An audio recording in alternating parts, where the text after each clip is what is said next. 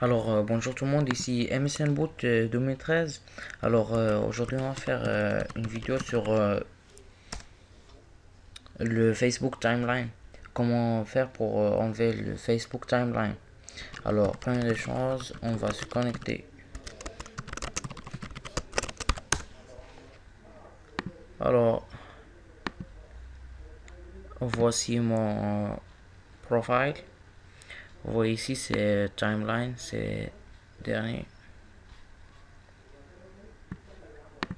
Alors, on y va sur euh, timeline-remove.com.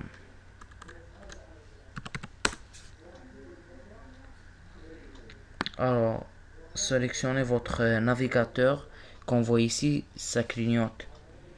Parce que je suis en train d'utiliser euh, Firefox, ça clignote. Alors, euh, je clique ici, autoriser. Je vais l'installer, installer maintenant. Follow all warning before you start open. Maintenant, j'en ai qu'à redémarrer mon navigateur. Cliquez sur euh, Firefox. Non.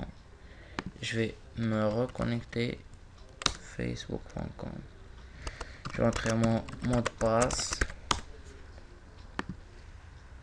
Je vais aller voir qu'on voit ici. C'est fait.